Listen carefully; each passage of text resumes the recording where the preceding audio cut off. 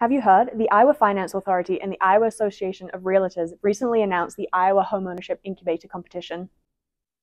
We're challenging all lenders across the state of Iowa, as all realtors as well, to think innovatively about the future of Iowa homeownership. Part of our economic development strategy as we pr- approach a holistic growth in Iowa is to build communities in which people want to live. That begins with home ownership. Home ownership is the beginning of economic security and wealth creation for our citizens.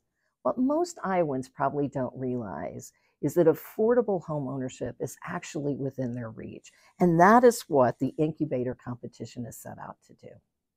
Submitting a proposal is easy. You need to include how you intend to promote IFA programs for low to moderate homebuyers.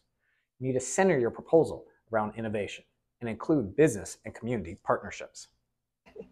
Proposals must be submitted by email by 5 p.m. on August 15th.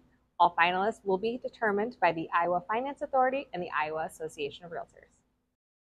Finalists will be invited to make their pitch to a panel of industry judges at the Housing Iowa Conference on September 6th in Cedar Rapids. The winning pitch will be awarded $20,000 to educate Iowans about financial literacy as it relates to homeownership and assistance programs.